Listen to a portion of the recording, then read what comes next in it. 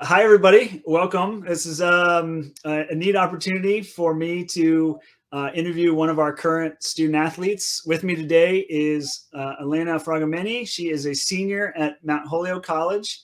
Um, she's gearing up for her uh, Caesar, a senior spring semester on the team, um, but uh, really notably, and congratulations to Elena, she was just awarded the Rhodes Scholarship to study for uh, at least two years at Oxford University. It's a really prestigious award. We'll talk a little bit more about it, but wanted to bring her on and talk about her squash experiences and the Rhodes Scholarship and her time at Mount Holyoke. So, Elena, welcome. Thanks for joining me. Thank you so much. It's so nice to speak with you and nice to nice to be doing something for CSA this morning. Yeah. I really appreciate you joining me. So um, let's start with um, let's start with your squash background a little bit, just to you know tell well tell us a little about about yourself, uh, how you landed at, at Mount Holyoke, and and your career building up so far. Yeah, so um, I was born and raised in the Pioneer Valley in Western Massachusetts. Um, lived for my whole life in Northampton, Massachusetts, which is home to kind of five colleges, um, including Mount Holyoke. Um, I went to Northampton High School, really just stayed in the valley um, but i had never heard of squash until my senior year of high school at northampton high um, when i became close with who is now my best friend um, who um, played squash knew squash um, he's from south korea um, and so i uh, kind of was like, oh, this sounds fun. Let's try it. We needed something to do hanging out. Um, and so we would go um, and play squash on Friday afternoons, on the weekends, get a bunch of friends together, roped our friends into doing it. Um, his sister went to Smith College, which is right next to Northampton High. So we would kind of sneak into the courts on the weekends and on Fridays and bring a speaker, blast some music, um, have some fun. And so I really learned everything from him. So full credit to him and that group of friends. Um, and then when I was applying to colleges, I I really was at that point like not good enough to be thinking about playing squash more than recreationally, but I knew that I wanted a college that had squash courts. I was like, I love this. It's so fulfilling throughout my whole college application process, which was really stressful, going to those courts on the weekends and hitting with my friends was the best stress relief in the world. Um, and I knew that I needed that. Um, and so every college tour I went on, I would ask if they had a squash team, if they had squash courts, and I would go look at the squash courts. Um, and when I toured Mount Holyoke, I really loved it, but I looked at the squash courts, and if you've ever been to Mount Holyoke, they're they're beautiful. They open, they're they're indoors, but they open onto the track. So you're in this huge, beautiful open space. Um, and it just felt right. And I liked Mount Holyoke. I got in. I went back to the squash courts on my accepted students day and looked at them. Um, and just kind of knew that maybe it was the place for me. Um, and so went to Mount Holyoke. The squash story is a long one. It's no, very- it's. I gotta say, I, I don't want to interrupt you because it's. I think it's really cool. You know, I um, just personally, I came to the game pretty late too. You know, I was yeah. kind of a tennis player growing up and uh, picked it up when I was in school. And I think you know, so often we hear about um, players who've been playing for a long time and have gone through the junior circuit, but um, you know, CSA we we're made up of so many different players with different backgrounds and it's great to hear you know i think i said to you earlier if we had more people you know getting interested in the game and and choosing to sneak into courts on friday weekends um I, you know i think i think the level would be the level of play in the united states would would just continue to go up. So i'm i love that story. I encourage anyone out there listening you know sneak onto those courts get out there follow elena's lead. No definitely sneak into the courts. It was a blast. And i mean I, I do tell my coach now our play was a little dangerous because I had no idea what I was sure. doing. So so maybe I would advise like look at CSA rules and play. Um, there were a lot of bruises from squash balls early on in my career, uh-huh. um, but I when I went to Mount Holyoke, I Mount Holyoke has a PE requirement, which is okay. rare for colleges. Um, but I knew I wanted to play squash, so I did squash as my PE. Um, met Coach Erin Robson. She is amazing and started playing recreationally. We started on like Thursday afternoons. Um, students who just liked the game would get together and play. Um, and then my squash skills got better, stopped hitting people with balls, nice. stopped hitting myself with my racket, um, nice. and eventually got to got to join the team. Yeah, and uh, I got to say, uh, Coach Robson is is a big fan of yours as well. You know, she talks about the the energy and commitment that you bring and the, that you show to the team, and and what an impact you have um, with your enthusiasm and, and commitment to showing up. And mm. uh, I know you've been battling some injuries, but you're looking to get on court this spring. Yeah, it's it's comical. I have to say, I as soon as I could join the team, I got injured, so I haven't actually played a CSA match ever.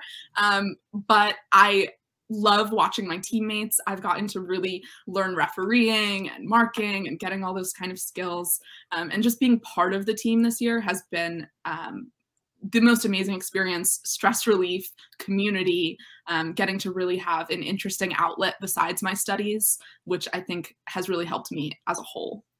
Awesome. Awesome. So let's, since you brought it up, let's talk about your studies. Yeah. Um, I believe you're a French and poli sci double major. Is that right? Yeah, I do French and politics, and then I also do um, a minor in journalism, public discourse, media. Yeah. So why? Uh, how have you gotten into to those topics in particular? Yeah, so politics is something that I really felt passionate about um, since I was young, um, really seeing the kind of impact that public policy could have on my own family, on my own community. Um, so I entered into college knowing that I wanted to study politics. And French was really something that I thought could be a tool to that. Um, I'm interested in international relations. I wanted to learn a language that I felt like could help me in international institutions. Um, kind of naturally developed a major from there. And then journalism for me, again, has been that kind of tool to connect people to governments, um, to facilitate change through journalism. Um, so I think of French and journalism kind of as these supplements to my interest in international relations and politics. Very cool. Uh, well, that's that's fascinating. Sounds like a lot of work too. Um, so so kudos for for taking care of business there. Mm-hmm. Um, so let's let's talk a little bit about the the Rhodes Scholarship process. Yeah. Um, you know, I, I read you were you're one of 32 uh, people who've been awarded a scholarship out of over 2,300 applicants. Um, so that's incredibly impressive. You're one of uh, one of 22 women of uh, who were awarded um, a scholarship. It's the highest number that they've ever had, and first uh, first Mount Holyoke woman to uh, to get in over 25 years. Uh, so really uh, impressive stuff there. Congratulations. Um, you. Can you tell us a little bit about how you heard about it and what the process was like?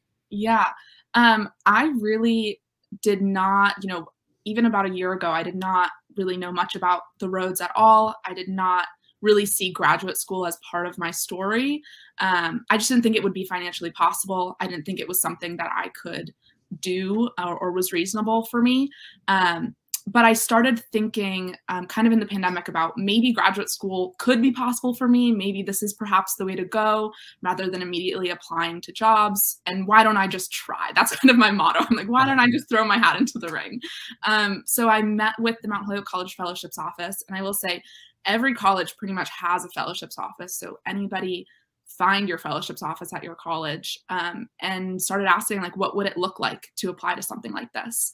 Um, and so really worked over the summer this past summer writing essays um, finding recommenders thinking about what it would look like to apply and submitted my application this fall um, and went through an interview process in november um, and thankfully, amazingly, was selected, and I'll be heading to Oxford for two years to study global governance and diplomacy, um, as well as public policy. Is the plan. Okay. Yeah. Can you do you know much about how it works? Like once you get there, are you you know I know Oxford has different colleges and you know kind of get a how but how does how do you expect it to play out once you get there? Yeah, so I'll arrive in October 2022, okay. um, and basically, what I, from what I understand, it's a it's a new system to me. I'm still learning, but you live, you pick a college. So you apply to your degree, but also you get selected into a college. And your college is basically where you live and eat and study. It has a library.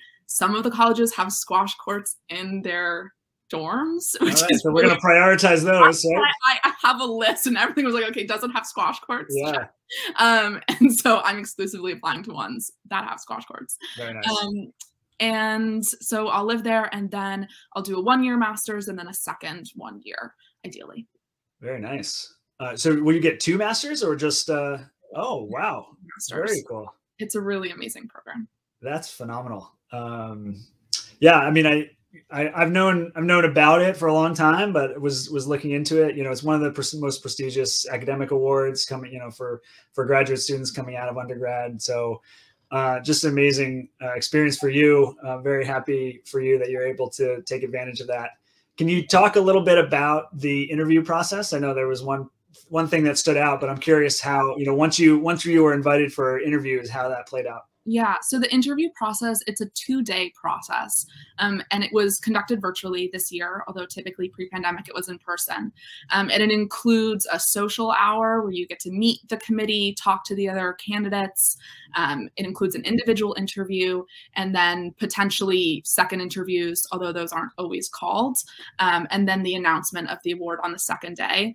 Um, and it, the process was really funny because that that weekend that I was doing it, we had um, two matches. So there, our team had a match on the Saturday and on the Sunday, and my interview process was the Friday and the Saturday. Uh-huh. So I was doing all this, and in between going to practice, cheering on my team, doing social media for the team, going into the matches, which I swear completely helped calm my nerves. The sure the morning before the announcement, I was watching um, our match. And so it, it, was just amazing to have the support of the team and be around them throughout that whole process. Um, our team does something called Secret Sister, where the day before a match, somebody like gives a little gift, like a little snack or some Gatorade or something, and a note, and it's anonymous. And one of my teammates, typically the notes are about, you know, go like fighting, go, good job on your match. And my teammate wrote me this whole note about good luck on the interview. And just having my team be so supportive throughout that whole weekend was an absolute blessing. And so I really think that squash players have a have an advantage in the process of having their teams. Um, but also something that struck me was during all parts of my interview, the committee was really interested in my squash experience. They really wanted to hear about um, the community that I'm part of. They wanted to hear about the team. They wanted to hear about how the match was going that day. Um, and they were really, really excited sounds like they they took a lot of time to get to know you and and uh, your affiliations on campus. Uh, yeah. That's that's awesome. Well, it's great. I mean, it's great to hear that squash played a nice, prominent role in more in more ways than one with the interview. It's it's uh, you know we we feel you know coming from from the governing body and and I know you know my friends at US Squash feel the same way. That community is such a, a huge aspect of playing squash. Um, you know, team squash at the college level is is kind of a unique aspect of that that that we really value and and kind of hang our hat on. And it's it's just it's really heartwarming that that you feel so strongly about that and, no, uh, and I, the impact that has had. I do, and I truly I've in certain moments I've tried to think about like what is it about squash that I think has touched me so much, and I and one little piece which I think about is literally just the construction of the court for me like I, I there's nothing else where you can open a door, enter with someone, a friend, a competitor, someone you care about, a teammate, close that door, and and squash doors always have that very like sound when you close them. It's normally like a big slam, right? Right. But then you're in that court, and it's just you on that court with a friend, um, getting to experience something that's separate from the rest of your life. But for me, gave me those skills of um, you know, we work with someone on our team about anxiety management and deep breathing and being focused on just the ball and all of those skills. I did the deep breathing that our team does before my Rhodes interview. Uh-huh. And it was just this total, for me, this full circle of something that I fell in love with my senior year of high school with my best friends to something that is helping me move towards my future. Wow. Oh, what a, what an incredible story arc. Uh, I love that. And uh, I'm, I'm so glad that that your experience is is as good as it is and you're gaining those those skills that are going to help in life i mean we um, I've, I've felt that way and, and I know others do too, but to hear, to hear it continue, you know, these first, first person anecdotes are, are so meaningful. So that's, that's mm-hmm. great. Where do you see, you know, post, uh, post your two years in England, where, you know, what are your goals? Where do you see yourself going from there? Yeah, I hope to work in international relations. Um, this past summer, I interned for the U.S. State Department, um, which I really, really enjoyed. So I'm hoping to perhaps um, think about working with the State Department again, or perhaps in some other international institutions. I really do love institutional work, like working within governing bodies. Uh-huh. Um, so I'm hoping to do some of that work in the future. But I'm also open to where where Oxford takes me. Um, yeah. I'm excited to meet professors and students who um, are doing some amazing things, and and hope that that helps shape my path too. Uh, I think I think it's a great attitude. You know, you're you're still very young and have a lot a long future ahead of you. Obviously, a bright future, and you're going to have a lot of contacts coming out of that uh, that experience at Oxford. So um, phenomenal. Um, definitely best of luck, and and of course, and I know you won't, based on your uh, your attitude towards it. Don't forget about uh, you know us little guys here. Oh, I will. uh, in the college squash world. Um, you know, you're always welcome. Welcome back. I mean, you're not gone yet, so we're looking forward. To, we're looking forward to seeing you on court next semester um, and at the championships and whatnot. But down the road, um, you know, this your story is is inspirational. It's it's heartwarming. It's really just a really cool cool thing, and that's one of the reasons I wanted to to have this chat with you today uh, to hear all about it because uh, mm-hmm. I've, I've heard only great things. So. Um, Elena, congratulations again on your scholarship. Congrats on your your last year at Mount Holyoke. I hope I hope fingers crossed it goes uh, as smoothly and as uninterrupted yes. as possible. injury free. I keep telling myself squash is going to be a lifelong thing for me. I know it is. I will keep sneaking into courts, although I hope more are open and we can build a ton and keep them open to everyone so more high school kids can hang out with their friends there on weekends and that would that's that's I, I that's a message we might have to hire you as our messaging mission that's my personal mission with CSA open your squash Perfect. Court. well this is on video now so uh, we're going to hold you to that down the road when when you come come back stateside so uh, thanks so much for your time today, Elena. It's great to meet you. I hope to see you in person on court later this year. And congratulations again. Really exciting. Thank you stuff. so much. Thank you.